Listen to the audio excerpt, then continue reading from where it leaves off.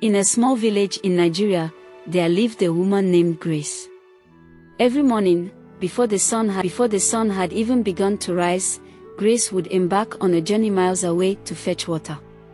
She would walk for miles along dusty paths, through fields of maize until she reached the nearest water source.